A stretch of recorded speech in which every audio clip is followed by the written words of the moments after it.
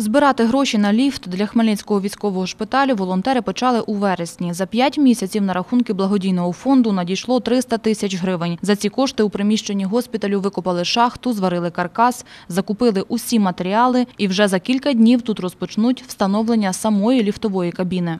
Там будуть е, усі прилади безпеки, е, включаючи системи аварійного спуску, систему рекуперації, яка дозволяє заощадити е, велику кількість коштів на рік. Кабіна ліфта буде повністю автономна, буде подача свіжого повітря в кабіну ліфта. Але для того, щоб ліфт встановили і запустили, треба зібрати ще 250 тисяч гривень. І при цьому у найкоротші строки. прискорити цей процес.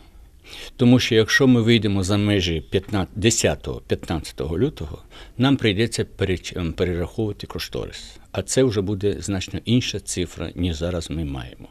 Нам ще треба 250 тисяч. Це невеликі гроші. Ми їх обов'язково знайдемо. До цього проекту зараз активно долучилися освітяни. Чотири школи Хмельницького та області уже перерахували 30 тисяч гривень на ліфт. Волонтери сподіваються, що й решта навчальних закладів відгукнуться, але наголошують, що це справа добровільна. Ми маємо тільки одне прохання, вірніше, вимога, щоб це було абсолютно добровільно. Значить, поміч повинна йти від чистого серця. І ми розуміємо, що так воно і буде.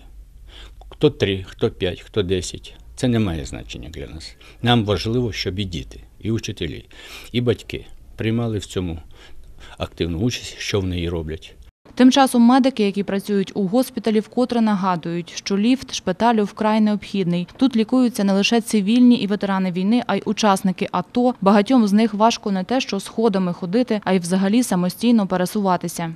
Є вимоги часу створити ліфт. Госпіталь існує довго, немає ліфта. Лікувальний заклад існувати без ліфта дуже і дуже важко. Ну, мене зрозуміють всі, хто травмовані, поранені, важкі хворі.